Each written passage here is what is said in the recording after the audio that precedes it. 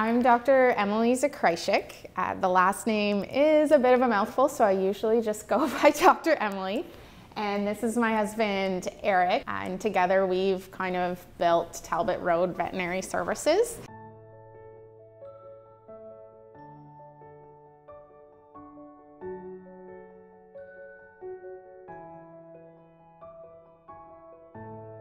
Since 2018, when I graduated from the Ontario Veterinary College, I've worked as a mixed animal veterinarian, meaning that I'll see pretty well any species. Admittedly, though, my passion is in horses, so I spend a lot of time working with horses.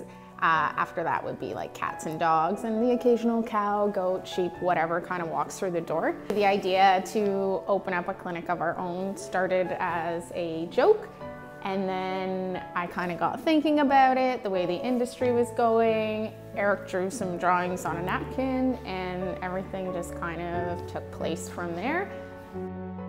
So once we were more uh, serious about getting through to the design phase, uh, the next step was to select a builder in order to facilitate that.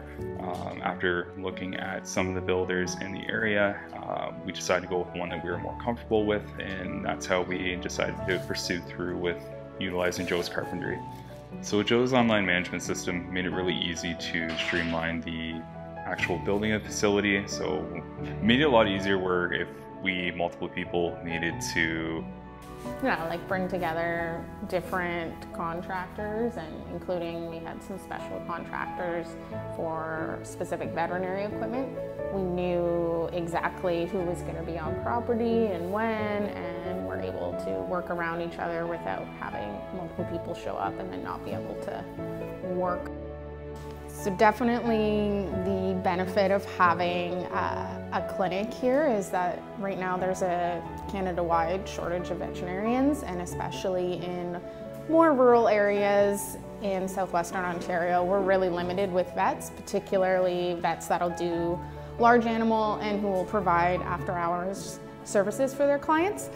So having a clinic right here, uh, we're kind of in the the heart of Norfolk County. We're able to travel to Simcoe, to Aylmer, up to the 401, down south.